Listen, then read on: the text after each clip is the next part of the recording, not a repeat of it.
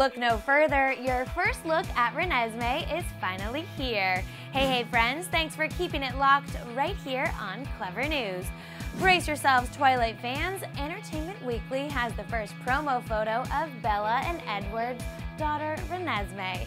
In the first picture that was released, we see Kristen Stewart and Robert Pattinson protecting their little girl while she peeks out from behind her mama's arm. Just hours later, EW released their newest magazine cover, which features Rob, Kristen, Taylor Lautner, and Mackenzie Foy.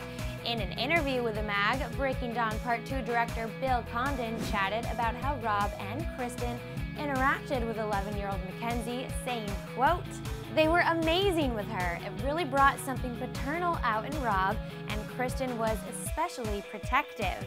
The new issue of Entertainment Weekly hits newsstands on Friday, June 15th, so make sure you pick it up for tons more Renesmee news and exclusive Breaking Dawn Part 2 photos.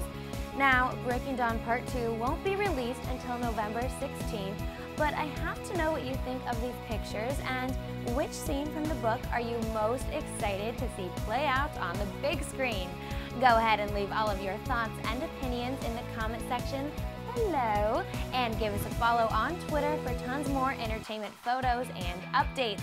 Also, while you're at it, make sure you click that subscribe button for tons more news on Rob, Kristen, and all of your other favorite celebs.